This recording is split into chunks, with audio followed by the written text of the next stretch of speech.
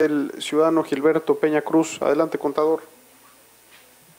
Muy buenas tardes, señores diputados. Muchas gracias por la oportunidad. Les comento que yo recibí la unidad de vigilancia, estoy, trabajando ahí, el mes de mayo del 2018 y durante todo ese este periodo de cuatro años se han hecho diversas labores, como esta es una nueva moda, es una modalidad, eh, la unidad de vigilancia como control dentro de la auditoría, eh, pues no había nada, nada por escrito, entonces se, procedió a elaborar los manuales de organización, políticas y procedimientos desde inicio, los manuales de procedimientos, eh, tenemos actualmente elaborados ya lo que son los manuales de auditorías, eh, que las auditorías que nosotros hacemos o lo que estamos facultados para llevar a cabo son auditorías de cumplimiento en sus rubros de financieras, de inversión física o de desempeño.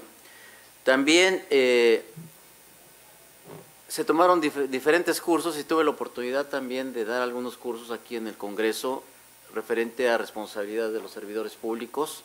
Se dio otro curso de la materia de auditoría forense, que es una materia que a mí me ha gustado y que llevo a cabo como hace 20 años, que aún todavía no la, no la habían implementado aquí en México, en Estados Unidos ya estaba de moda, y que es eh, un procedimiento para tratar de descubrir los, los desvíos, los fraudes, los malos manejos dentro de las empresas y, eh, lógicamente, en los organismos gubernamentales. Se elaboró también, elaboramos un video por ahí al inicio de, mi gestión dentro de la auditoría, dentro de la unidad de vigilancia, referente a la función legislativa, en qué consistía, cuál era el procedimiento y, les comento también que tengo un canal en YouTube, a mí me ha gustado mucho lo que es la enseñanza, he dado clases en muchas universidades, desde México en el Instituto Politécnico, en la ESCA, eh, aquí en La Salle, en Cancún, eh, y diferentes escuelas.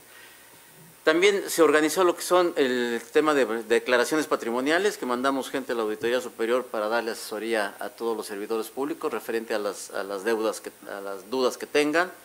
Eh, se tomaron cursos referente al presupuesto base en resultados, que es una modalidad aplicada dentro del gobierno, en donde se dividen por programas cada una de las proyecciones de los presupuestos, se establece el cumplimiento conforme a índices, un tema muy interesante. Y referente a esto también hemos tomado eh, diplomados en cuanto a las adquisiciones, otro tema muy, muy sensible dentro de lo que es la administración pública, y eh, contabilidad gubernamental, etcétera, etcétera. Entonces, pues eh, esa es la, capacitación y lo que he hecho en estos cuatro años. Gracias. Gracias, contador. Continuando eh, con el siguiente punto, se procede con la ronda de preguntas y respuestas y o comentarios por parte de los diputados integrantes de la comisión y si así lo desea la presidenta de la barra de abogados, igualmente pudiera hacer uso de la voz. Eh, así que, compañeros diputados, presidenta, tienen uso de la voz si así lo determinan. Adelante, diputado Martínez Arcila.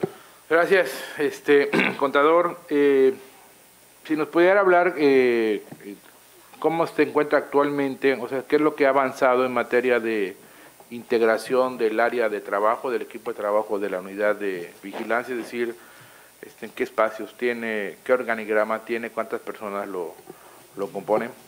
Ok, eh, nosotros originalmente, bueno, originalmente teníamos ocho personas destinadas a la, a la unidad de vigilancia y actualmente contamos con cinco. Fue eh, también el tema este de la pandemia lo que nos afectó tanto en el trabajo como en el presupuesto.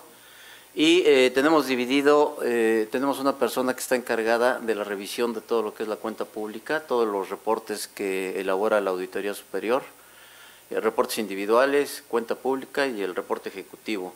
Eh, revisamos eh, las facultades de la, de la unidad son revisar el cumplimiento y el desempeño de la auditoría superior, no podemos duplicar el trabajo y hacer lo que ellos ya elaboraron en su momento. Entonces vemos que sigan la normatividad, los manuales, y eso es lo que revisa esta, esta persona, esta contadora. Luego tenemos unas personas que se dedican a lo que es apoyar también a la revisión de reportes y eh, actualmente están haciendo la, la asesoría al personal de la Auditoría Superior en cuanto a la presentación de declaraciones, porque sí veíamos que estaba un poquito retrasado la presentación de declaraciones y mandamos dos personas para allá a, a la Auditoría Superior. Tenemos eh, al asistente, al subdirector, que pues, se encarga también de apoyar en, en la revisión de las cuentas y en hacer los reportes y también está encargado de lo que es la comunicación, la sincronización con el CENTRE, eh, la actividad que se va a llevar actualmente a cabo para la entrega-recepción de la 16 legislatura. Así estamos organizados actualmente. ¿Cuánto, presidente? Gracias, diputado Martínez Arcila. ¿Algún otro compañero diputado que quisiera hacer uso de la voz? Presidenta. No se escucha el, su intervención. Ahí está. Perdón, Eh, no, no tengo ninguna pregunta para el candidato. Perfecto, muchas gracias.